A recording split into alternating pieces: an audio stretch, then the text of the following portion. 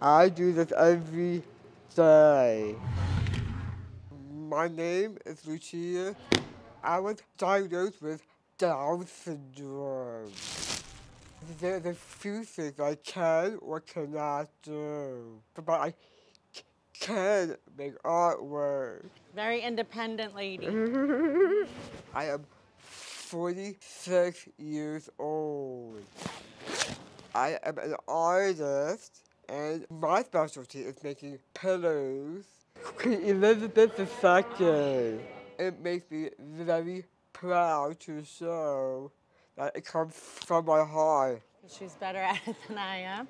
And I want to have other people to make pillows also.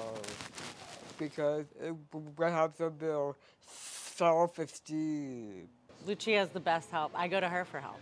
Oh, and she has all the best tools. We are at the Center for Creative Works in Wynnewood, PA. This place is a progressive arts studio for neurodiverse adults, artists who each have their own mediums that they work with. Yeah.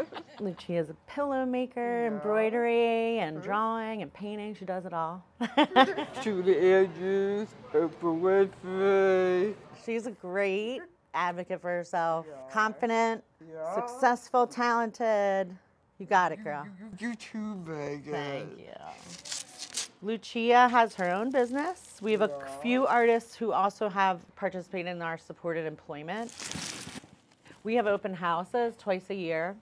So when people come to the open house, they can actually buy products. Lucia also sells pillows on her website while supplies last. Yeah. And she's also open to taking requests. Good job, girl.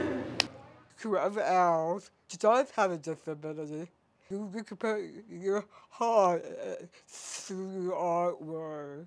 Love you, Paige. I love you too. Girl, you did so good.